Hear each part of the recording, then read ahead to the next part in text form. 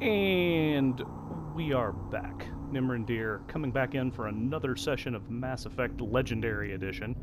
And if I hadn't figured out how to access the mission computer already, I can do that. Um, it tells me I can spend points for my squad members. I have. I still haven't looked at the codex. It is. It, has been hard, but I've resisted.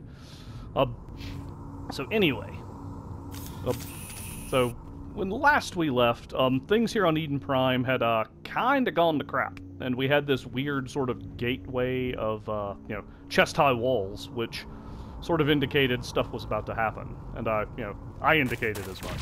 Oh look, something's happening. Hey look, she looks familiar. Am I shooting Tex? Um, this you may not want to look at this, just in case you're squeamish. Just sorry, I didn't get the warning out in time. Um.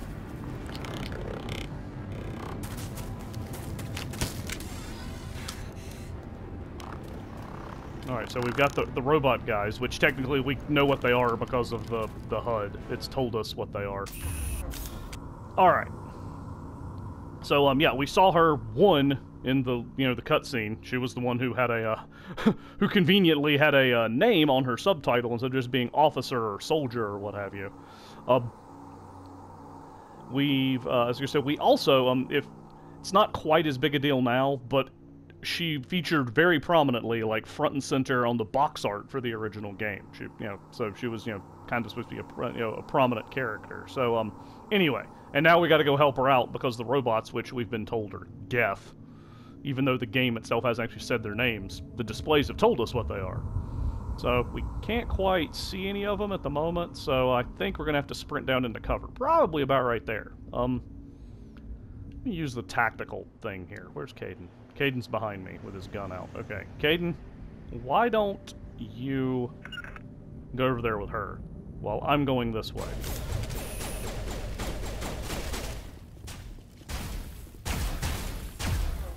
Alright, so now that I'm here, uh, Kaidan, would you kindly use your biotics and chuck this dude backwards? Yeah, that'd be good. And, uh, then I am gonna pop out and not hit the broadside of a barn. Um, alright. But I am locked onto that guy, so... And my mine got stuck, like, right there. Yeah, nice. So yeah, in case anybody's wondering, there's my overload. It's just gonna sit there until the game finally decides to, like, let it go away. Nice. Is that everybody? Thanks for your help, Commander. I didn't think I was gonna make it. Yep. I do like how you automatically, if you, if you have your gun out, you know, hit, you know, you, you point it away from non-hostile targets. So, um, we'll, we'll, we'll talk to you in a minute. But first, Oh no! Well, Gunnery on, Chief Ashley Williams of the 212. You the one in charge here, sir? Chief Williams, you stopped me from looting. This is unforgivable. No, um. Are you wounded, Williams? A few scrapes and burns. Nothing serious. The others weren't so lucky. Oh man. Yeah, we saw. We were patrolling the perimeter when the attack hit. We tried to get off a distress call, but they cut off our communications. I've been fighting for my life ever since. Where's the rest of your squad? We tried to double back to the beacon, but we walked into an ambush. I don't think any of the others... I think I'm the only one left. Okay, well, like I said, yeah, we're... This isn't your fault, Williams. You couldn't have done anything to save them. Yes, sir. We held our position as long as we could, until the Geth overwhelmed us. The Geth haven't been seen outside the Veil in nearly 200 years. Why are they here now? They must have come for the beacon. The dig site is close, just over that rise. It might still be there. I've never actually seen what happens if you say stay here, and I'm not about to do it now. Like, you know, all of my characters, even the renegade ones, are like, yeah, more people is good. More, you know, more people to get shot at is generally the right move. We could use your help, Williams. Aye, aye, sir. It's time for payback.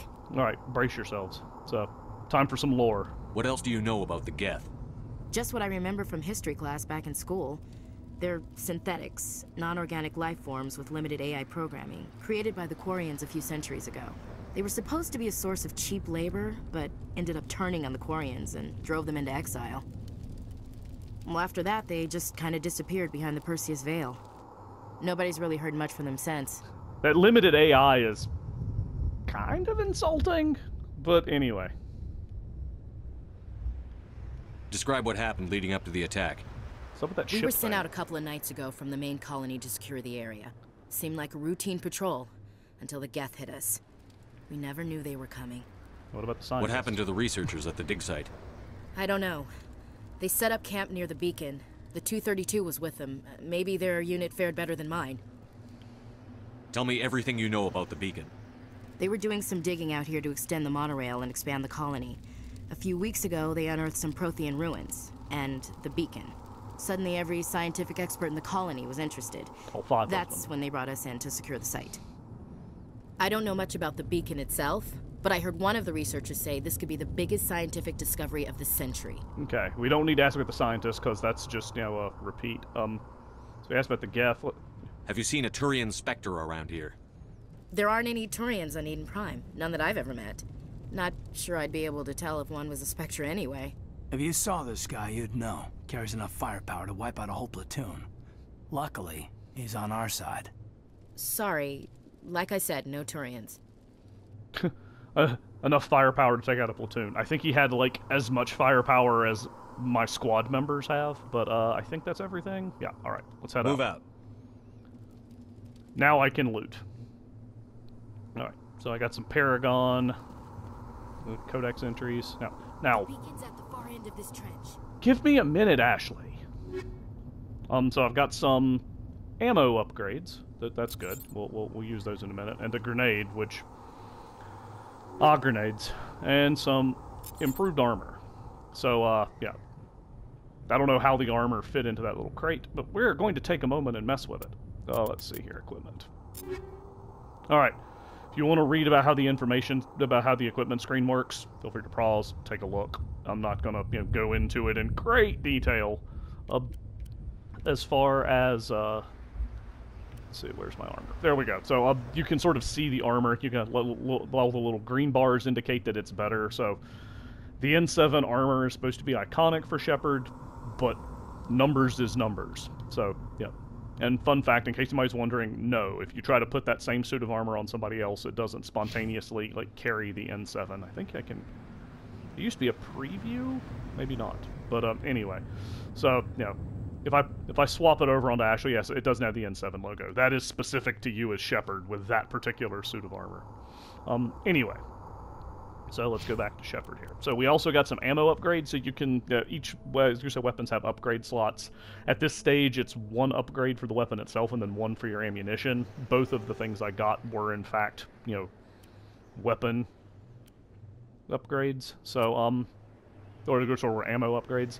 So um, the armor piercing rounds are actually one of the better things in the game, and they kind of go away because you lose, you know, the thing. But um, getting those is nice. Um, I'm going to put those on my own pistol.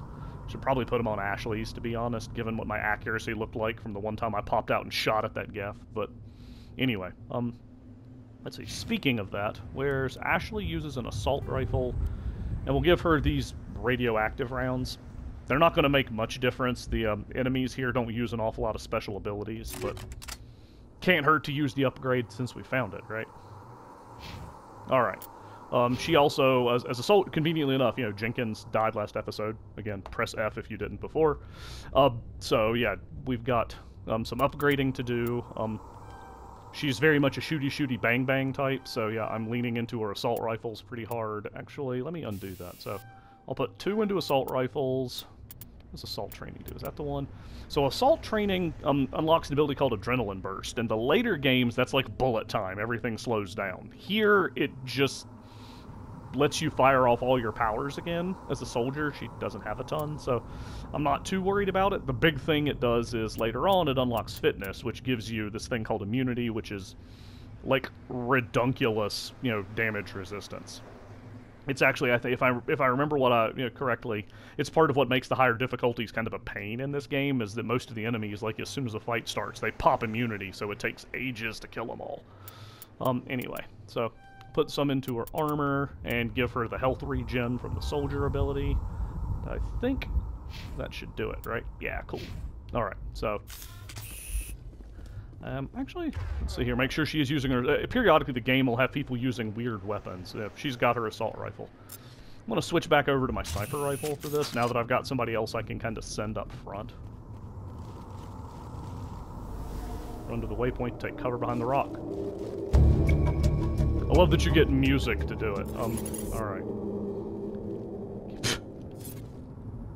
Thanks for running in front of me there. Uh, let's see here. So yeah, Ashley, right there. Kaidan, why are you out in the open? And you can, you know, whoa, get down. Something shot at me. What shot at me? Okay, how? How? Yeah, but how? There we go. Okay.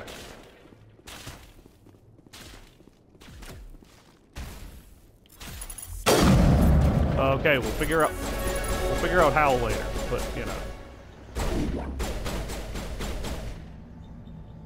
Okay. So now I should switch back over to my pistol because I'm about to run like three inches away from this guy. Uh, let's see if I can do this smooth. So it told me how to throw a grenade. If I can throw the grenade behind this thing and kind of clip him, that'd be cool. Why didn't you throw the grenade, Shepard? Yeah, okay. That feels nice. There we go. Okay. All right. Negative contacts, Commander. Still like I had the arrow up there. I've still got the arrow. Oh, good, good lord, game. Sorry, is it still there? Yeah, it's still there. Like, despite the fact that I actually moved into that spot. But, can't. Okay, that's hilarious. BioWare's games weren't known for being well polished, right? So, yeah, that's a, that's a thing. So the dig site we can investigate. I don't think there's anything out around the side here. Yeah. I mean, there's a there's an item we can collect, but it's going to take a bit to get to that. We'll go ahead and investigate dig site first. This is the dig site. The beacon was right here. It must have been moved. By who? Our side or the Geth? Hard to say. Maybe we'll know more after we check out the research camp. You think anyone got out of here alive? If they were lucky. Maybe hiding up in the camp. It's just on the top of this ridge, up the ramps. Hey, that, we got an autosave. That can't. That's not Change of plan, suspicious at all. There's a small spaceport up ahead. I want to check it out. I'll wait for you there. Give us a second. We just found some weapons. So. And, um, so for what it's worth, my wife and son have actually played a fair amount of the game at this point since we got it. And it turns out, yeah, there's been some changes. So, whoops. Oh, we leveled up. That's right. So, level ups come pretty fast and furious here at the beginning. So, um, alright. So, keep be beefing my abilities. In particular, I can't remember if I mentioned this. Um, you can sort of hack into containers, and you, the your skill in electronics and decryption allow that. So you can you know read the ability there about using it on easy objects. As you level it up, you get to like average, I think is what it says. Yeah, and then hard. Um, all right. So go ahead and work toward my pistol ability. Maybe I'll be able to shoot the broadside of a barn with it, right? Um, okay, Kaidan said I'm leaning into his biotics. Does Sentinel, does that help cooldowns? Yeah, so we'll go ahead and put one point in there for some, uh, yeah. Gives me a, gives me a bit of a cooldown bonus, and then we'll jack throw, because like I said, that's what we're using on him. Ashley, we'll get her. This is actually pretty important. I need to be, I really need to rethink how I'm handling Shepard's things, because yeah, I've gotten shield boost, which like I said is kind of important. Um, so yeah, we'll We'll get to that in a minute. Yeah, Shepard, I gotta put like two ranks into that so I can get his shield boost back up. So if his shields go down, he's not just like a sitting duck. But, oh well, you live, you learn, right? Uh, so the journal tells me, yeah, we need to investigate the research camp. Yeah, let's get on. We'll we'll get right on that. All right. Uh, actually, was just trying to change back to my sniper rifle game, but okay.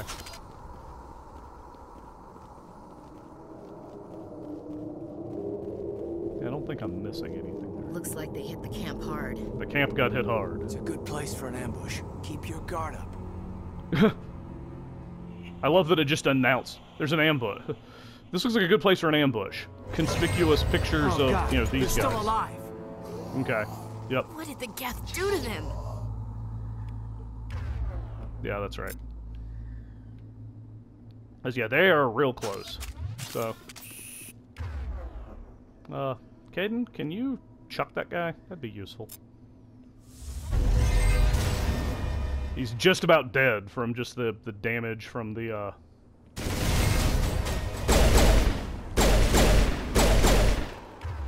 All right, so let's see here. Ashley, trigger your overkill so you can bring these guys down.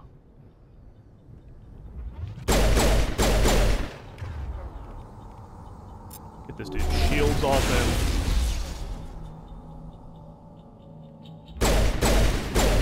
He started running away because goofy AI. Alright. Think that's everybody? Alright. Yeah, I love that it announces, looks like a good place for an ambush, and then immediately like goes to a cutscene of, you know, things that are gonna ambush us. Oh, there's an upgrade kit hiding over here. It's got some more weapons. Heavy armor for a human. Unfortunately, you've got to put more stuff into into an armor thing before you can use it. Shepard can't use heavy armor at all, neither will Kaidan. Ashley could eventually, but um anyway. Yeah, we're we're gonna take it all. So So that door, I don't think there's anything else in here. Still can't remember how much I, I tend to try to stay away from the fire because yeah, I, I remember there is at least one point in the in this area where yeah, the fire will like straight up just kill you. Um. That door, it's closed. Security lock's engaged. Yeah, but this one's not. And there's a crate. And another crate. We take all of the everything. That's. Alright. So yeah, we'll go ahead and hack the door. So, tells you you can use this. It's a little button mashing mini game. It's not super engaging gameplay, but um. All right, so.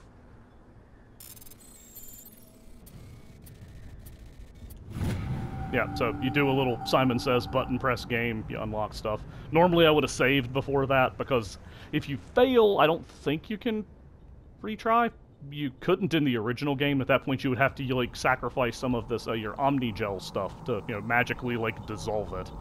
Um. Anyway. Humans, thank the Maker.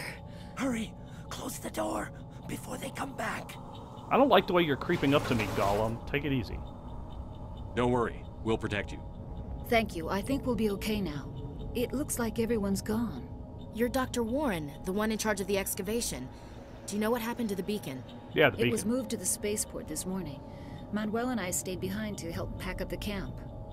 When the attack came, the Marines held them off long enough for us to hide. They gave their lives to save us. No one is saved. The age of humanity is ended. Soon, only ruin and corpses will remain. He's just a ball of sunshine. Um. Can you tell me anything about the beacon? It's some type of data module from a galaxy wide communications network. Remarkably well preserved. It could be the greatest scientific discovery of our lifetime. Miraculous new technologies, groundbreaking medical advances. Who knows what secrets are locked inside? Yeah, who knows? we have unearthed the heart of evil, He knows. awakened the beast, unleashed the darkness. Manuel, please. This isn't the time. What else can you tell me about the attack? It all happened so fast. One second we were gathering up our equipment, the next we were hiding in the shed while the Geth swarmed over the camp. Agents of the destroyers, bringers of darkness, heralds of our extinction. We could hear the battle outside gunfire, screams. I thought it would never end. Then everything went quiet. We just sat there, too afraid to move, until you came along. So I think we we haven't asked about Nihlus yet. Um, we've got the we've got asking about your assistant. You know, like during his graduate work, did he like read a lot of the Necronomicon? Like, did he graduate from Miskatonic? Because he's talking like it. What's wrong with your assistant? Manuel has a brilliant mind, but he's always been a bit unstable. Genius and madness are two sides of the same coin. Is it madness to see the future? To see the destruction rushing towards us? To your head. understand there is no escape, no hope? No. I am not mad. I'm the only sane one left. I gave him an extra dose of his meds after the attack.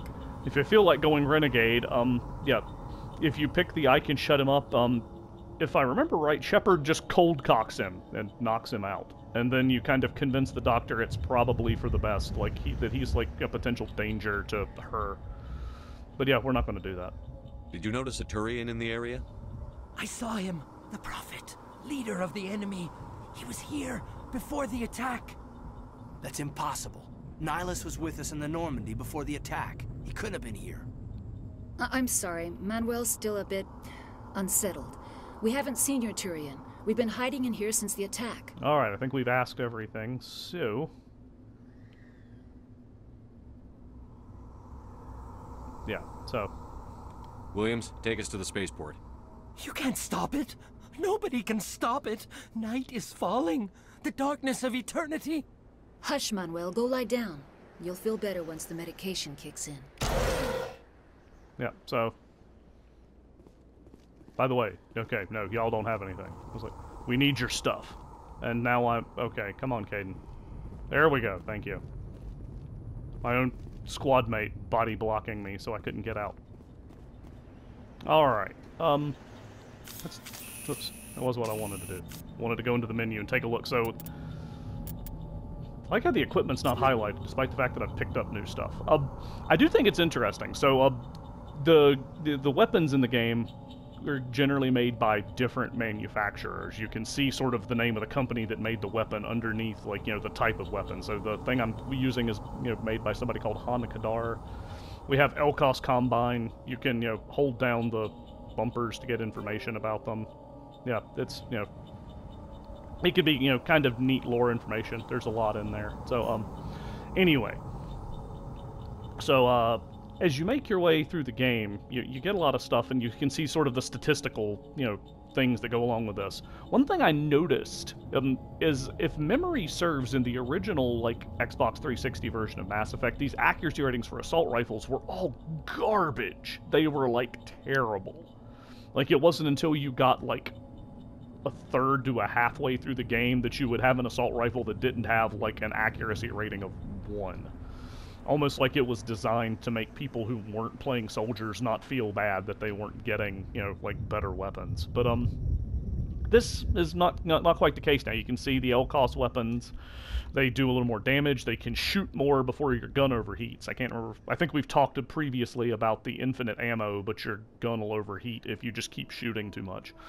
Uh, it is weird that they've changed the way it reads in the um, in the Xbox version that I played back in 07 it would list how many shots you could fire before a reload. It was a very discrete number. Now it gives you like a number of seconds of continuous fire before it, you know, before you get to that overheat level. I think I kind of preferred the shots before. I think it was an easier number to quantify instead of imagining how often you're just kind of fanning the hammer on the trigger. Anyway, so uh, I don't need. Did I find? Have I found a pistol? I have not yet found a pistol. So We've got a couple of shotguns. We've got a couple of two different types of shotguns, which nobody is using. Um, Ashley, let's get back over to the assault rifle. You don't need the accuracy quite so much. So when you change an equipment, it will actually swap upgrades, which is kind of nice. Because, yeah, we'll give her the... Uh,